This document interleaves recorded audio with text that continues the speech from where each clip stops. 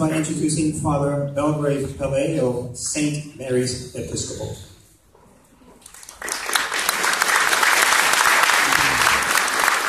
God is good. I hear you. God is good. All the time. Look to your right and say to that person, God is good. Today we are all here from different faiths and different culture. We come because we serve one God. The God who created the world, the God who created the earth. And so we are here in this multicultural city. There's no city in the world like New York City. And there is no police force in the world like our police force. And I'm going to come back to the nitty There is no place like the South Bronx, the 40th precinct. I thank God. And I thank God for my captain. Amen. Amen. There we go. So I would like all of us, as we continue to serve God in peace, in love, and in unity, we all are together. Let us work together. And as we work together, I just would like us to bow our heads and everybody say prayer. Let us pray. Oh God, the Father of our Lord Jesus Christ, our only Savior, the Prince of Peace, deliver thy people from, we beseech thee, from all prejudice and contention, and whatsoever else may hinder us from all godly union and concord. And as it is one body and one spirit and one hope of our, calling, one Lord, one faith, one baptism, one God and Father of us all. So we may be all of one heart and of one mind, unite in one holy bond of truth and peace and faith and love. Amen. Amen. Thank you, Father. Please welcome Bishop Angelo Rosario from the Church of God's Children.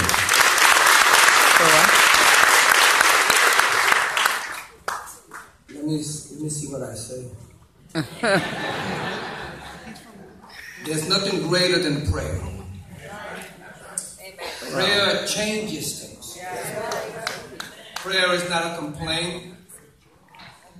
Prayer is a reverence, a reverence to our Heavenly Father. There's just one Father, creator of heaven and earth. Prayer isn't a house or a car or a brand new pair of shoes. Prayer is asking the wisdom of He that created the heavens and the earth. Psalm 122 6 says that we should pray for the, for the peace of Israel. That's when, when Israel was still in his power and the King David was there. When we pray for the peace of Israel, we pray for the peace of the world. But there cannot be any peace if there's no love.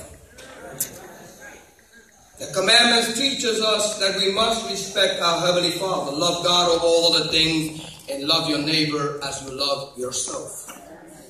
That's when peace comes into our hearts, and then we find solutions to the problems. If God is peace. My peace I give you, my peace I leave, not like the world gives it, do I give it to you. The peace of the world is different from the peace that God gives us. That's right. Because we build a relationship with our Heavenly Father. And what has been broken through the centuries, since the beginning of mankind in the garden, was the relationship of conversation between Adam and God. When Adam was walking through the garden and he fell, God said, Where are thee, Adam? And he said, I heard your voice and I hid. Communication broke. The relationship between father and son broke. I want to finish by letting you know that if we all pray together as one people that we have done this day, calling out to our Creator, God will hear our prayers and change our communities. He will send angels to help us. If He said, when you pray, He brings back a relationship between man and God the Father. Our Father who art in heaven, Thy kingdom come on earth as it is in heaven. When we build that relationship back with our Heavenly Father and our families, with our wives and husbands and children, that makes a difference in our community. And I finish by saying to you, I want to burn the village.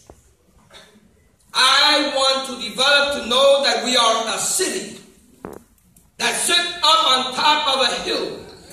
And a city has new ideas, new principles. We are together better, as my brother said before, tonight. Love your neighbor as you love yourself. And your neighbor is the police officers. Love your neighbor as you love yourself. We could create peace and not. We could create love and not war. Because without love, it's impossible to please God. God bless you. I want to introduce Pastor Reggie Stutzman from Real Life Church. Yep. He go? Representing Hunts Point. Hey! Four one. I want to read to you from the book of Luke, the 10th chapter. Hmm. Jesus was asked, Who is my neighbor? And he replied, A man was going down from Jerusalem to Jericho. And he fell among robbers who stripped him and beat him and departed, leaving him half dead. Now by chance a priest was going down that road.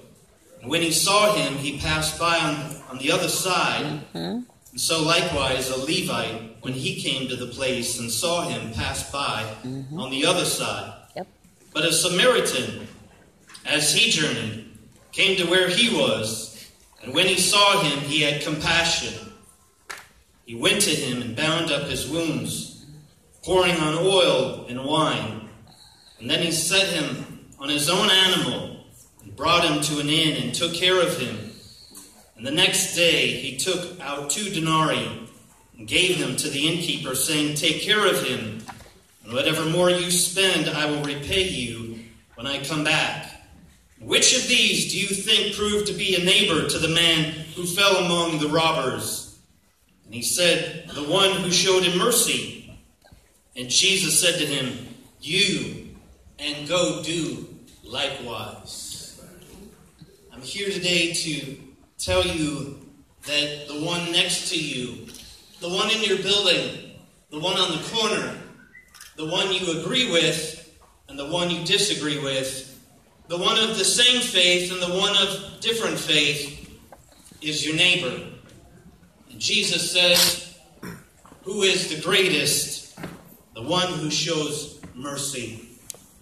And I would challenge us here in this room that we are responsible to showing mercy to those around us. How do we bring unity to our city? By serving. By serving. By serving. My prayer tonight is that we would have eyes to see the needs that are around us. Mother Teresa said, if you can't feed a hundred people, you can always feed one.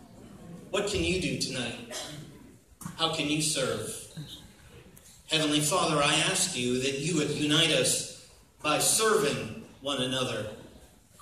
That we would see the needs of people around us, whether they be poor or naked, homeless, elderly, Father, of whatever community, whatever belief, we would serve them with love and compassion that we would be a city of mercy and a city of compassion. Let it begin here in the Bronx tonight. For Lord, who is the greatest among you? The one who shows mercy. In Jesus' name I pray. Amen. God bless you.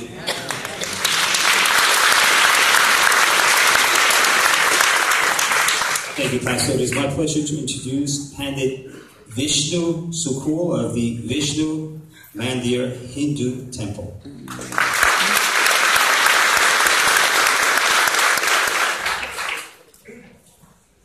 Tonight I'm very happy to be with you, and I want I want to tell you that I do learn very important things here. God is one, but we call Him by many names.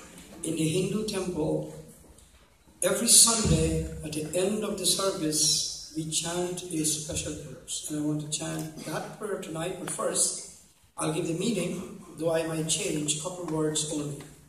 Let there be good to all. Let all be free from sickness.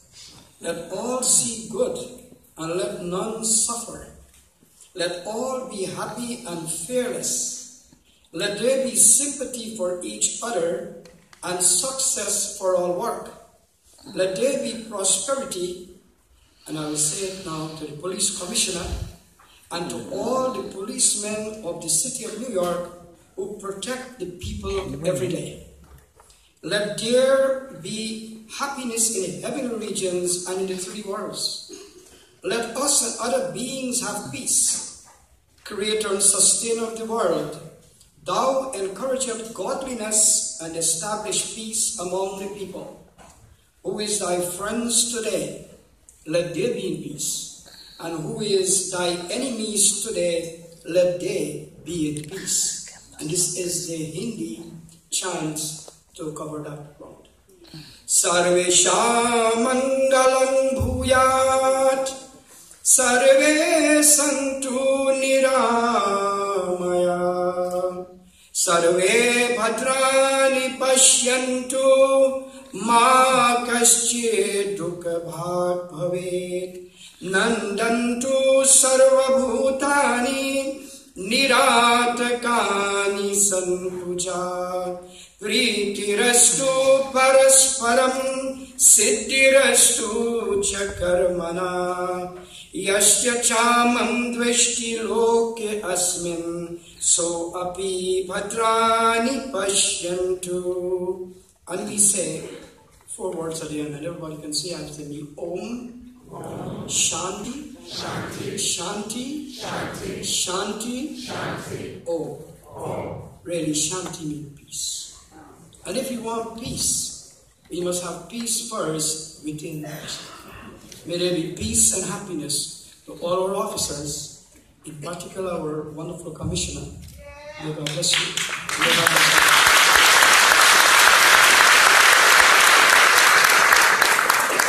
Thank you, everybody. Harpreet Toor from the Sikh Cultural Society. Please step forward for your reflections.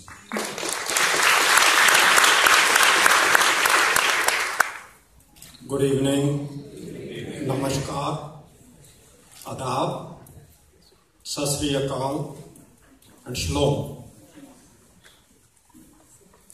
Well, actually, I'm the last speaker, so I will take my time. I'll just-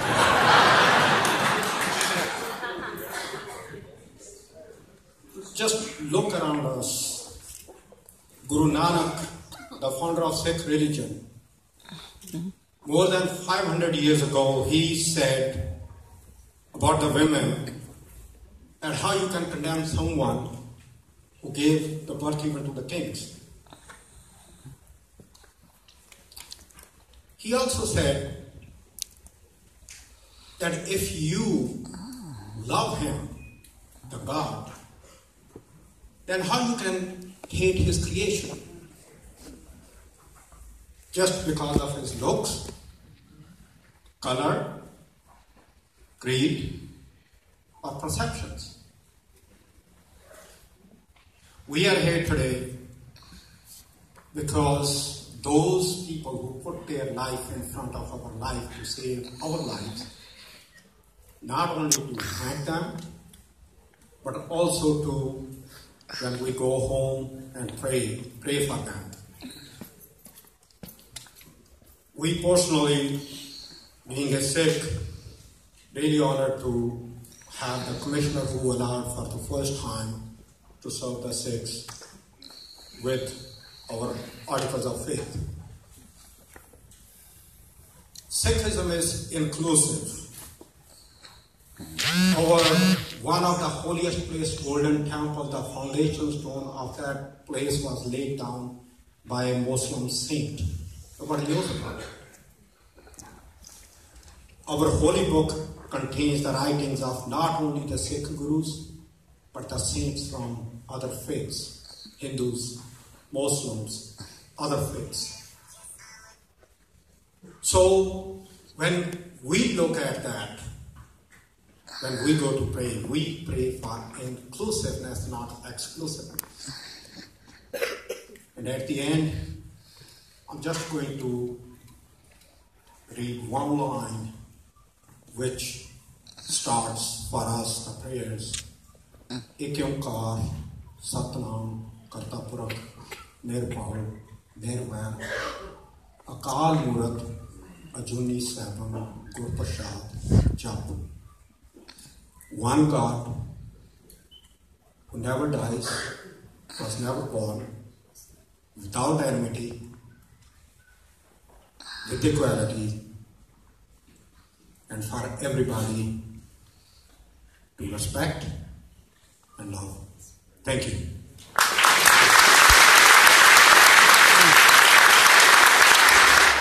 Thank you. It is indeed my great honor to introduce the Police Commissioner of the City of New York, the Honorable P. O'Neill.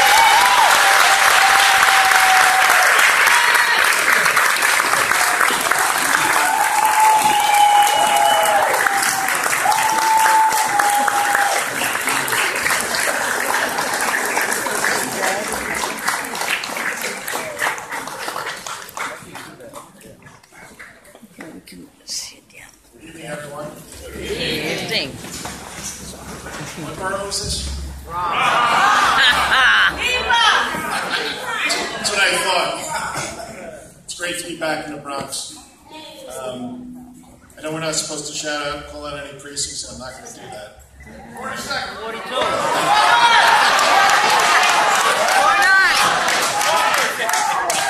Hey, hey, Martina, I'm not going to say it. I'm not going to say it. I just uh, want to acknowledge a, a, a number of people within the police department uh, that are here with us tonight. Specifically, uh, Joanne Jaffe, Chief of Community Affairs. Executive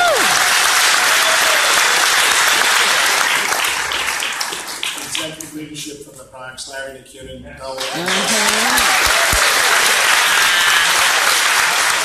uh, and Pat McCarthy. Also like to acknowledge uh, Brian Conroy from uh, School Safety.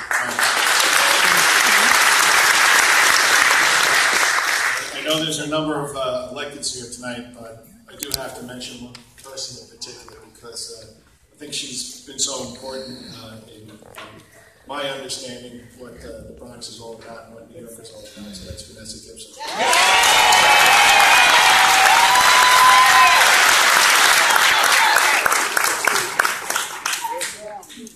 So if you're here in this room tonight, you're here for one reason, that's because you want to make New York City a better place.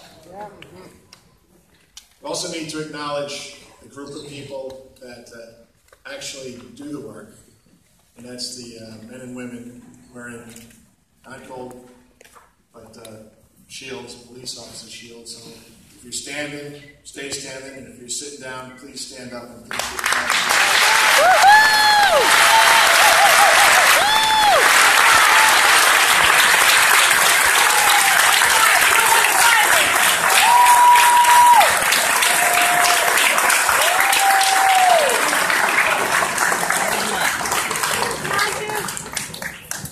Thank you for what you do each and every day.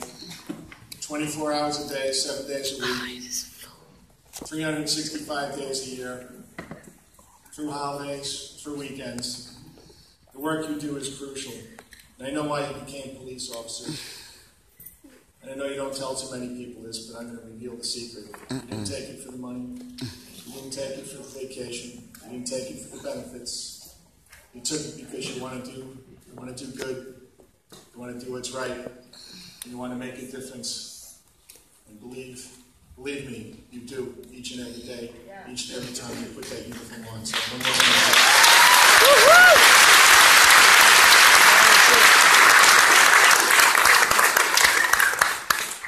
So as I stand at this podium, I, I feel good. Muslims, Christians, Buddhists, Hindus, Sikhs, got it all covered. I, I know, I know so many of them. Thank you for what you do for the Bronx each and every day. Because you, you absolutely make this a, a great borough. So thank you for what you do. So it's good.